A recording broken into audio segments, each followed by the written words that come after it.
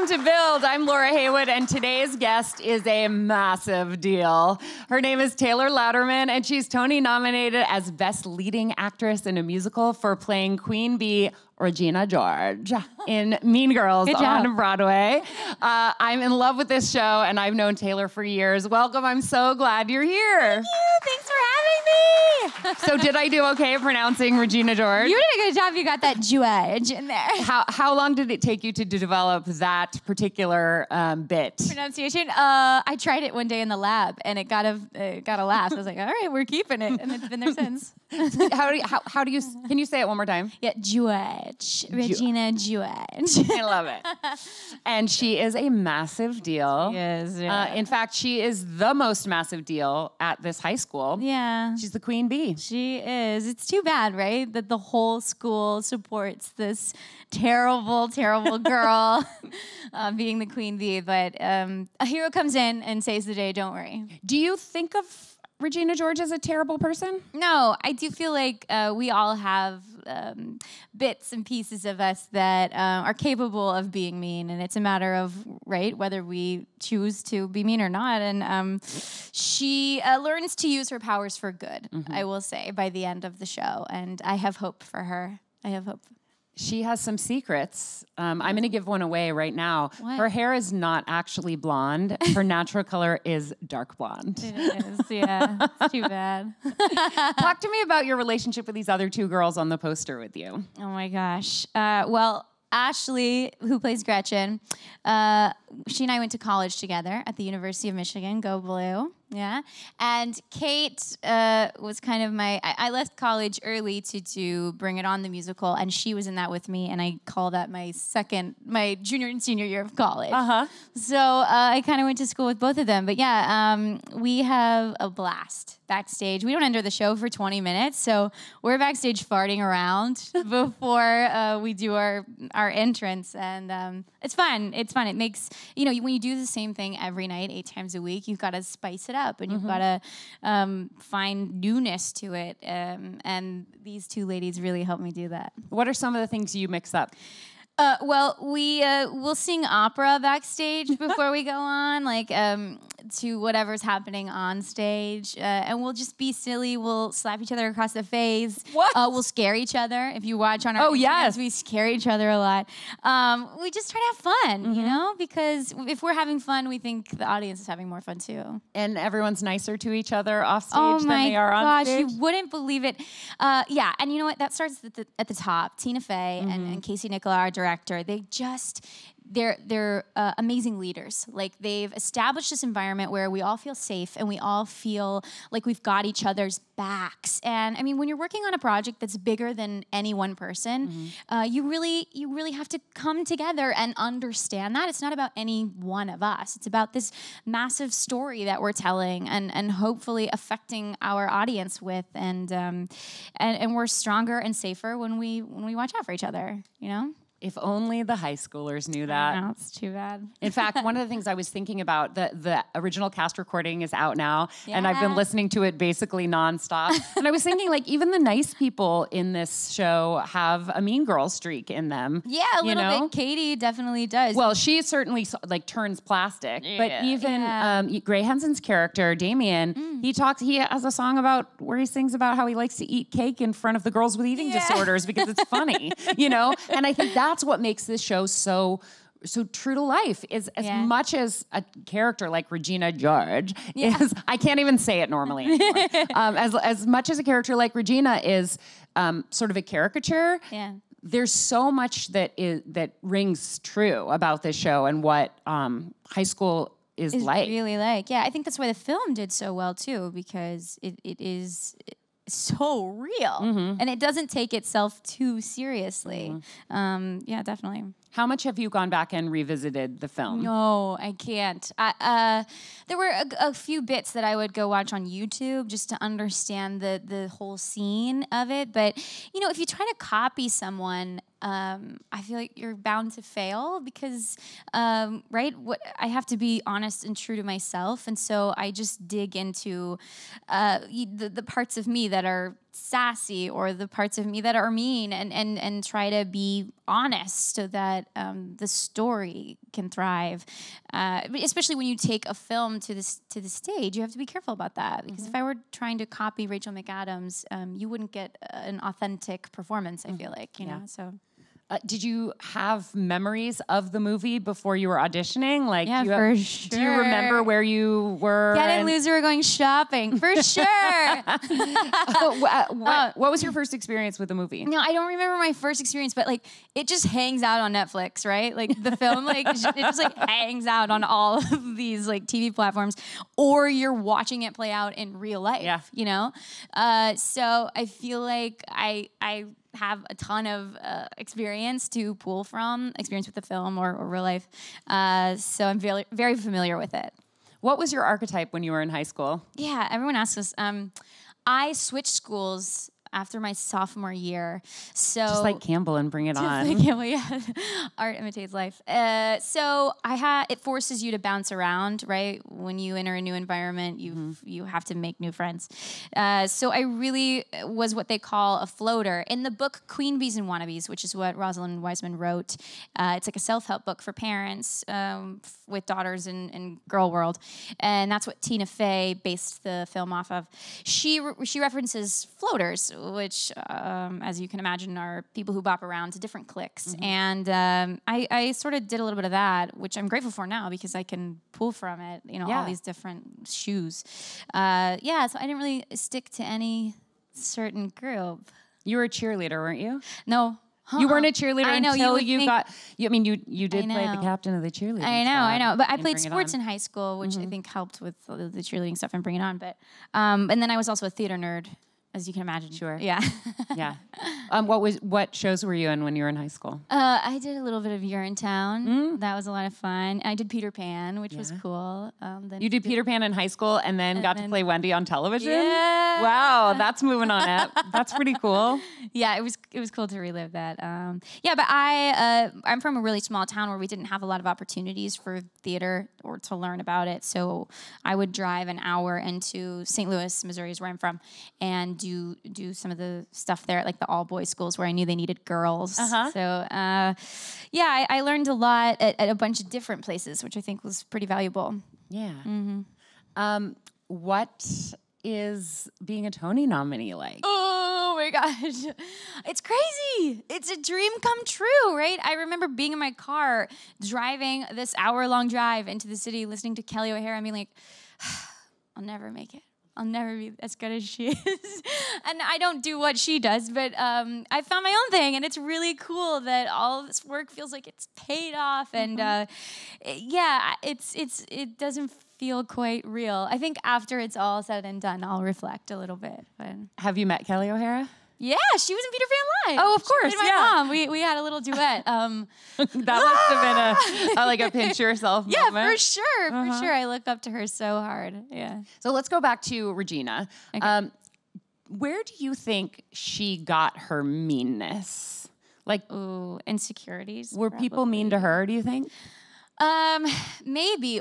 Or probably yes, and probably um, it was reinforced, you know, right? If she was mean and it worked, mm-hmm. and it and it it gave her power, um, then that's reinforced. She's going to keep doing it, keep doing it, because um, essentially what she wants is is power, which she achieves by you know her looks, um, putting other people down. Her parents are wealthy. She's got nice clothes. All of these things I feel like fuel that. Um, and then as she as her other relationships aren't strong and real, um, she has to keep doing it mm-hmm. to uh, continue being the the queen bee.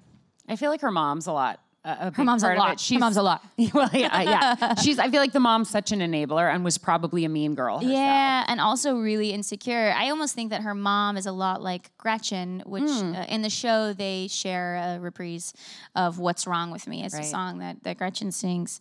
Uh, yeah, they're they're a lot alike. I mean, she kind of abuses her mom. She, she has a, a, sort of an abusive relationship with her with her mom. That, that she's the abuser. Yeah, she yeah. says, "What is it?" She she made her mom switch bedrooms because she wanted the the master of the master suite. bedroom. Yeah. And the mom was like, "Oh, okay. Okay, whatever you want, whatever you want. I love the logo of the show. First of all, like you are front and center looking fierce. yeah, it's obnoxious, isn't it? It's everywhere. The other day I was in a cab and I turned over and there there it is on a bus. I just like oh Which my God. which has its own irony. I Yeah, mean, right. Regina and buses, uh, without giving any spoilers, uh, that that's not the healthiest relationship.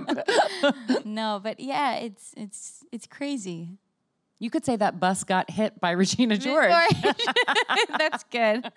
I um I like this because each one of the the plastics, as you're called, has uh, a, a weapon of choice, and I or a thing that you can't that she can't live without. And for Gretchen, it's her phone, and for Yeah. Karen, it's her hair, and for Regina, it's her body. Oh, okay. And I feel like this has all of that. yeah, definitely. I uh, thought you were gonna it. say the the R there, but yeah. Oh yeah, I like sure. the necklace too. Is was that real or is that something they photoshopped in? No, that's real. You have do you That's wear, what I you wear wear in it the in the the, the R, R Uh-huh. necklace. Yeah. Um, that so that's obviously a wig that you've got on. Actually, right here was one of the first times we did our photo shoots. That's my real hair with hair extensions in. okay. Uh huh.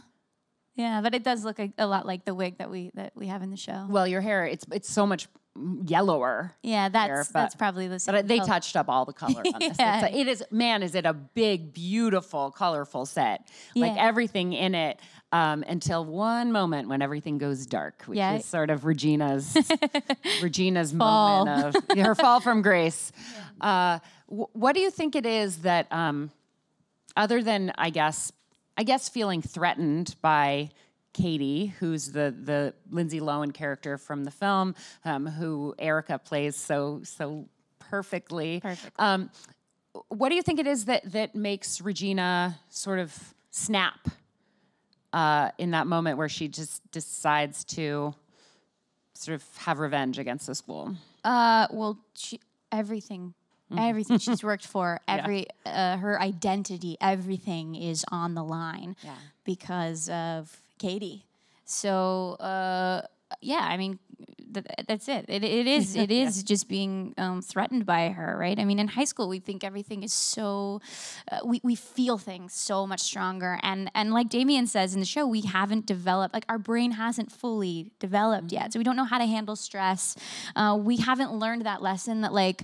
Uh, we're actually happier when we uh, get along with everyone you know even if we don't like someone it, it's it's so much more worth it uh, to to treat others with with dignity and respect right even in the face of conflict um, to say how you feel but in in in a nice way Yeah. um, and, and life is so much easier when you do that. And why not? Why else are we here? You know, why else am I on this planet?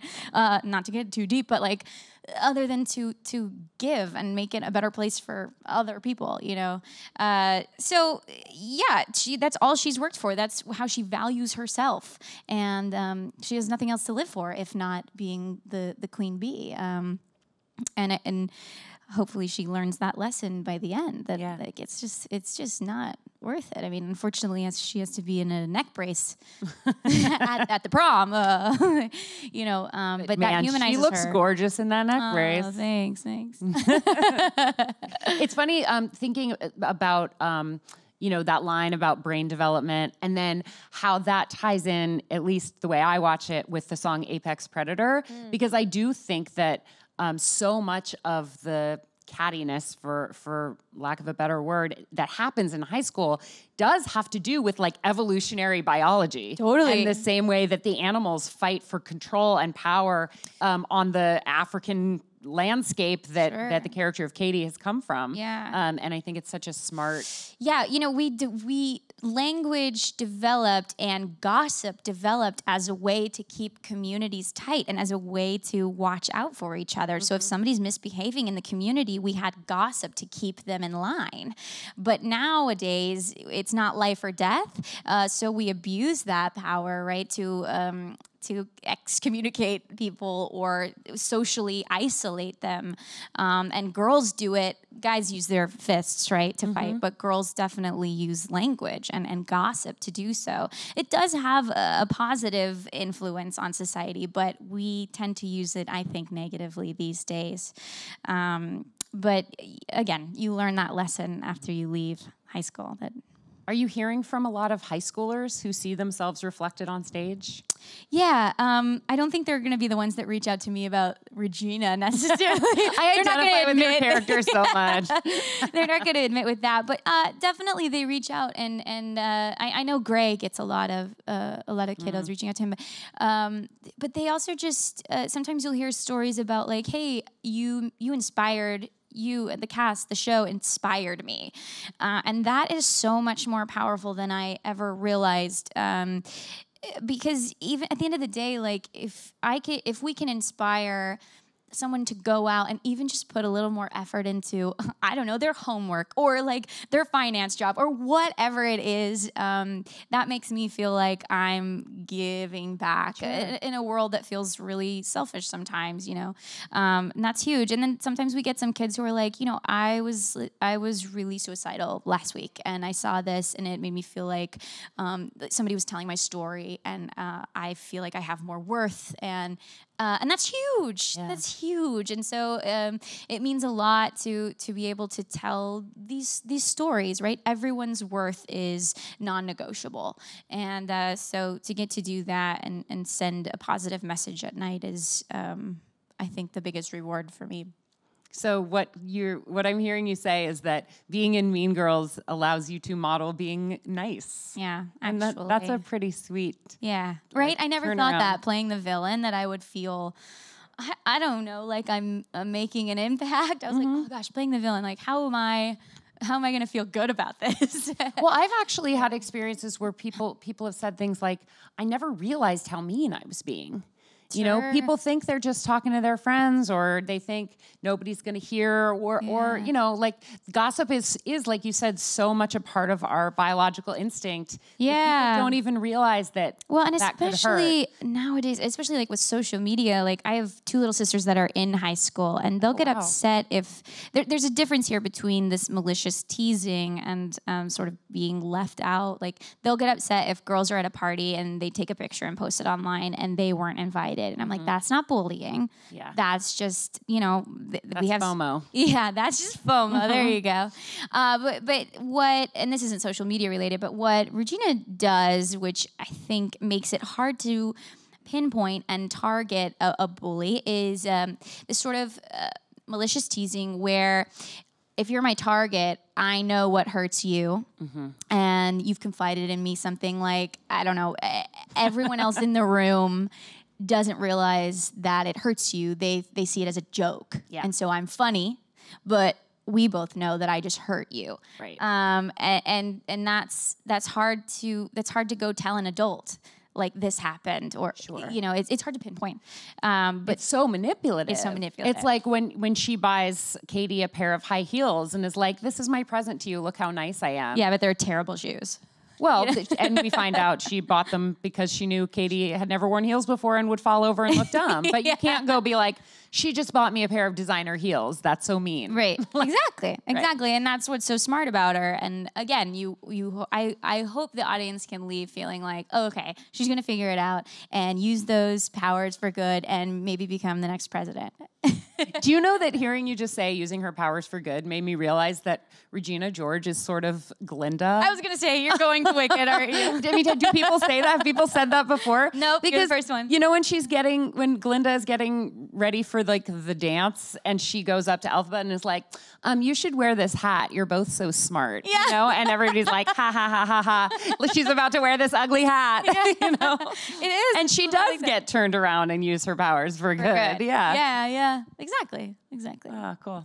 um, do you have a favorite moment um, what either a moment when you are performing or a moment when you're off stage observing in Mean Girls the musical? yeah, uh, well, I really like wearing the fat suit. Spoiler alert. Uh, but I, Regina eats Kälteen bars, and so she, she gained some weight. Yeah, uh, and that so that's fun to be a goofball. Um, I enjoy being an idiot more than I do. A, a, I don't know. Uh, but then I, I also love. There's a moment. Uh, my dressing room is far away from stage left, so uh, there's a moment where I exit the stage and have to hang out for a little bit, but I don't have enough time to go up to my dressing room. And that's when I play tricks on the stage hands or the, mm. the stage managers and I don't know, fart in their face or something. You know, just like uh, just be be silly and, and have a good time. Uh, and so and and then I'm watching them do uh, it's not justice anymore. It's called Fearless. When we did it in DC, it was called Justice. Uh, but yeah, so I'll get to watch them, and that's like a part in the show where they've just told Regina she can't sit with them. So sometimes I'll go to the edge of the stage, so the audience can't see me, but, but the cast can, oh. and just like be like, "Oh my god, I can't believe you guys did that to me. That's so mean," you know, and, and make them laugh, or I don't know, just be silly. Yeah. Have you ever had a prank go wrong? Um. no, I don't think. All right, so. well, just knock on someone. Although the other yesterday in the show, uh, I, I, I have to grab a doorknob and walk out the door and slam it, and the doorknob came right off the door with me, and the audience just died laughing. And you know, that's it. At some point, you have to surrender to the fact that like this is live theater, and just be like, "Yep, this just happened. And I walked out being like, can we do that every night? Because they rallied. You know? There's nothing like being reminded that yeah. you're in a live theater. That's my favorite thing as an audience member. Yeah. I never want to see anybody get hurt, but I want something to happen that night on yeah. stage that hasn't happened before and won't happen again. Right. Because that's how we're reminded when something's so slick and beautiful and like well rehearsed it's almost like watching a movie. Yeah. And then something happens, like somebody sneezes or something, and you're like, whoa, whoa that's real. Yeah. Yeah. Um, so, you know, yeah, on that doorknob. The audience tends to uh, really get excited by things like that. And then you've, you've got it. Like one night, my mic went out in my, in my neck brace, and I had to go up to Cady's head and start talking. And, the, you know, and the audience like, what's happening? And then they bring out a mic and they all just cheer, like, you can do it. so, yeah, those, those moments of live theater make it uh, really fun. Let's take a couple of questions from our audience. Yes. Hello. If Hi. you could steal any of Regina's outfits for yourself, which one would it be? Oh my gosh. Say uh, the neck brace. yeah, yeah, right. Can you imagine? Uh, she wears, so I, I learned this on the show. There's a difference between Louis Vuitton shoes and Louis Louboutin Louboutins shoes. Louboutins, Loub- yeah. Louboutins, yeah. Uh, if you were to say it in French, Louboutin. Um, it, it, it's funny when I when I reference them in the show, I say uh, my Louboutin shoes, but I'm wearing Louis Vuitton shoes. I would take both of those shoes. Louboutins have the red yes, on the bottom. Yes, I've learned that since. Uh-huh. and Louis Vuitton is the stuff that you get fake versions of on Canal Street. Yes, very good. Yeah. Who else has a question? Hi. Um, Hi. I know you mentioned already two um, stories of onstage mishaps, but I was wondering if there are any other like really funny ones that happened yes. so far in the run.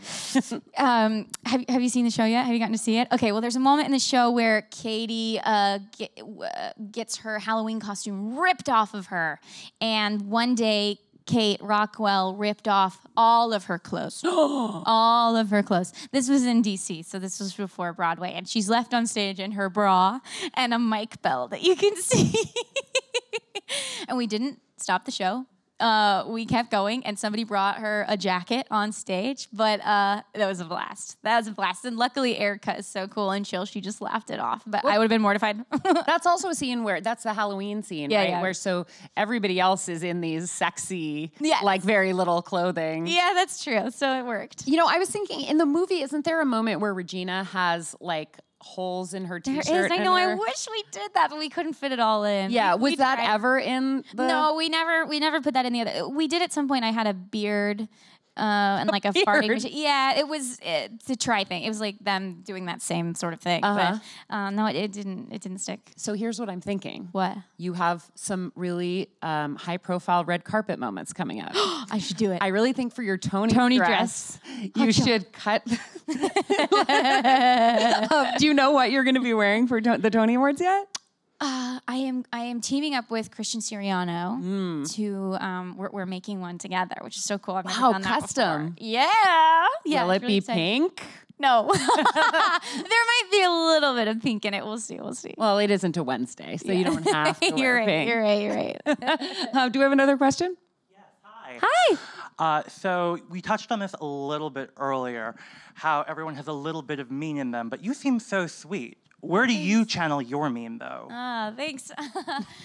um, well, we've all encountered um, mean behavior, right? Not necessarily. I don't think people are mean or nice. They're not one or the other, right? It's much more fluid than that. But um, I really feel like you you can pull from experiences. There were definitely mean girls in high school that I remember, and um, I'm sure I tried my hand at some point in an effort to gain um, social power to you know be mean. So you, I feel like I've pulled from a bunch of different experiences uh, for sure, and. Um, uh, you know, unfortunately, even in adulthood, there are there's mean behavior. It, it's it's it's everywhere.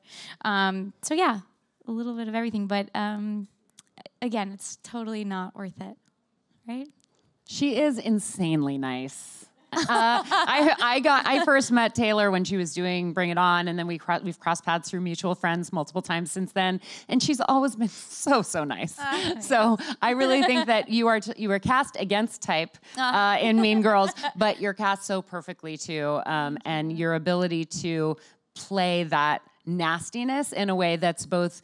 Uh, like it's not overacting, but you are um I don't I don't I'm It's feeling subtle. suddenly at a loss for words. Um, yeah, it is not subtle, um, but it's it's striking. Uh, and I am such a huge fan of yours and I I am out there every Wednesday in pink trying to win like lottery, uh, the lottery and the the rush tickets at Mean Girls. I can't stop going back. It's really an experience, and I hope everybody goes to see it. Good luck at the Tony Awards, Taylor, you. Thank and thank you. you for being with us. Oh my gosh, thanks for having me, you guys. Thanks for being an awesome audience.